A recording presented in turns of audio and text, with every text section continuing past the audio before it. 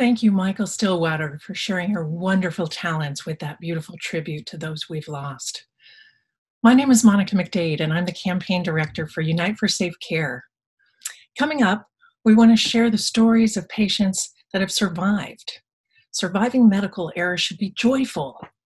However, sometimes it is a cautionary tale of what you never want to have happen to anyone else. In this space, let us celebrate those who have survived medical harm and see what these inspiring people have gone on to do. Let's watch Alicia Cole's story.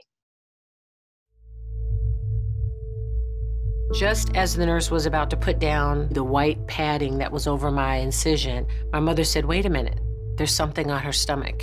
Looked like a mole. And my mother asked the nurse to call the doctor to come back, and uh, she didn't want to. She said, I am not going to call the doctor for what's going to turn out to be nothing. My mother said, I'll call the doctor. I'll never forget, I was looking at my doctor and I raised the gauze and I just saw his face completely change. And when I looked down at my abdomen, the black dot was gone and there was a quarter size pustule. The infection kept spreading and it was starting to go down my leg. Over 2 million patients a year get hospital acquired infections. I ended up having six more surgeries, nine blood transfusions, I left the hospital with an open abdomen that took three years to close. My hospital, they were cited for being in violation of five state laws and 10 federal laws for unsanitary conditions in their operating rooms.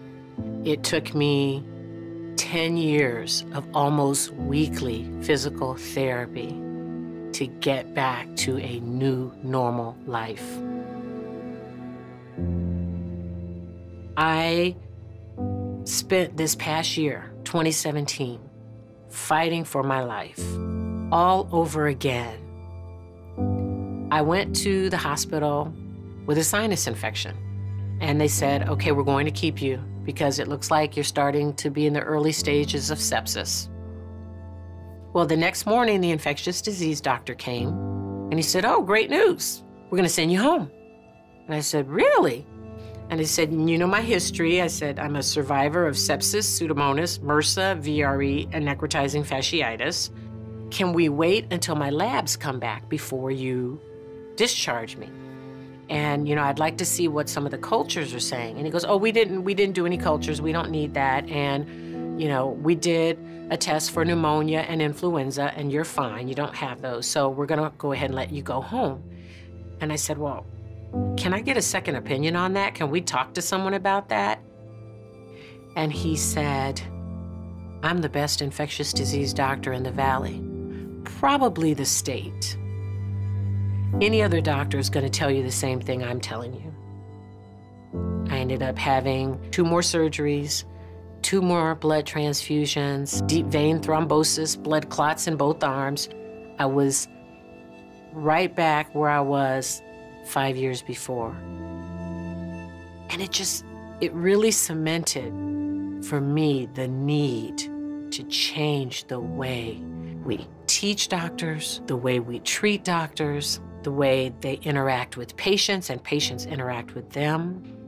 We need to start sharing patient experience with our medical students, with our nursing students, so that they can get it from the horse's mouth. When you're building your, your house, your profession, you want to make sure that you build it on a solid foundation of patient safety.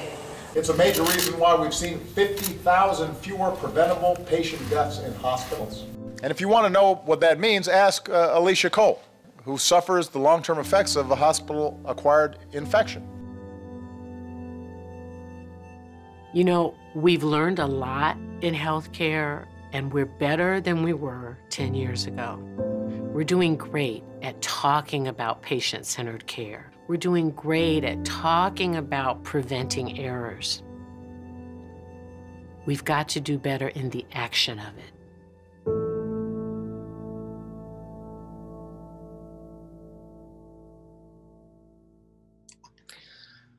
Oh, Alicia, thank you for sharing your continuing story. We appreciate your bravery and your resilience. You are a survivor, and I applaud you. When I was 31, it took me six months to get diagnosed with breast cancer. I had to beg, plead, and negotiate with my general practitioner and the insurance company to get proactive care. The GP kept telling me it was nothing, I was too young, and since I had no family history, I should just get on with my life. Had I listened to him, I wouldn't be here with you today. Being a survivor of misdiagnosis made me become an advocate for my own care and for those I love. Hi, I'm Alicia Cole, and I'm a survivor of sepsis, Pseudomonas, MRSA, VRE, and necrotizing fasciitis. I'm actually a two time survivor of sepsis and necrotizing fasciitis following medical care. And I want to say thank you. Thank you for participating today. Thank you for joining us for World Patient Safety Day. Thank you for joining in our campaign to unite for safe care. If you're here to join us in our campaign for safe care, it means that you care about patients. It means that you care about your family, that you care about healthcare providers. It means that you care about yourself and your community. And I thank you. After surviving medical harm, you have weeks of recovery at best, months if you're lucky, years if you're fortunate. And some of us, it's a lifetime journey. Unfortunately, making it out of the hospital is just the first step. Well, I feel very fortunate to have survived medical harm. There are a lot of people that can't be with us today or can't speak like I am speaking to you today because of the medical harm. Um, it's an honor for me to be here and be able to share my story so that other people don't have to experience what I've been through. So the key word is I'm fortunate and I survived. Jack and Teresa Gentry are two of my heroes. After Jack suffered a catastrophic, life changing event, the Gentrys feared they would receive the same deny, lie, and defend tactics Steve and Margot Burrows received after their mother Judy was harmed. However, the hospital where Jack was harmed immediately implemented an open and honest approach known as CANDOR, which stands for Communication and Optimal Resolution. Jack and Teresa were so impressed with how they were treated, they have been presenting to healthcare systems across the country sharing their story and why every hospital needs to implement the Agency for Healthcare Quality and Safety's Candor Toolkit. Full transparency with open and honest communication after preventable medical harm is not only the right thing to do, but is also the smart thing to do. Please join me in welcoming my good friends, Jack and Teresa Gentry. As a survivor of medical harm, um, for me personally, it just um, it took me down a different path in life that I had no expectations prior to the um, the incident of traveling, and um, it made me aware that there are, I'm not alone um, as a survivor, and it made me aware of the hundreds of thousands of people who die from preventable medical errors. So it just it just changed where I was going in life.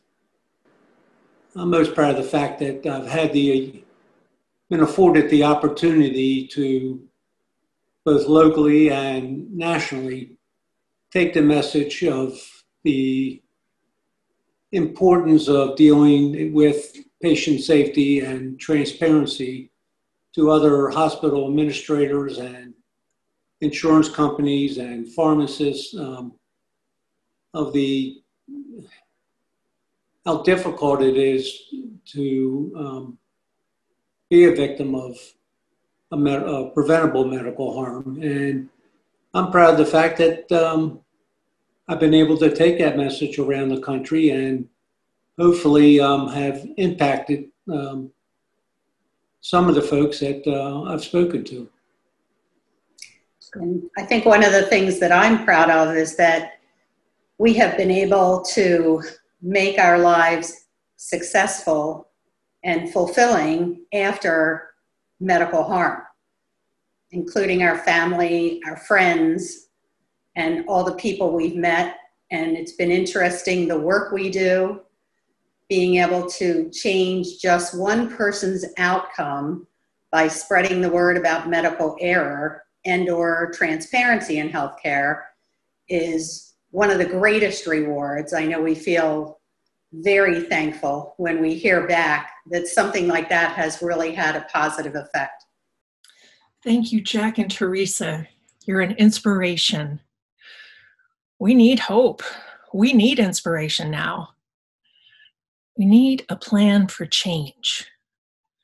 We need a way to provide safer care for everyone. Don't we all deserve that?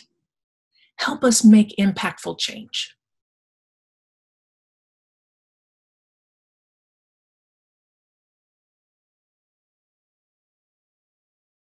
Uh...